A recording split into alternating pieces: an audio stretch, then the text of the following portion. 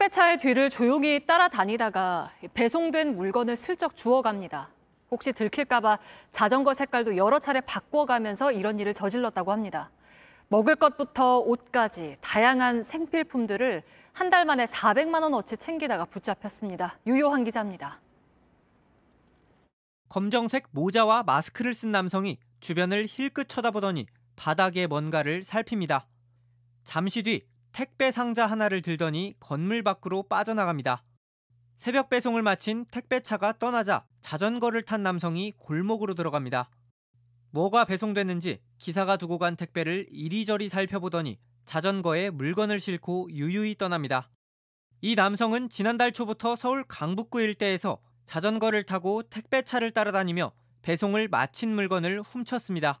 그 신고를 했지 문자 와서 나놓고 갔 다는데 찾아보니까 없어가 좀 황당했죠.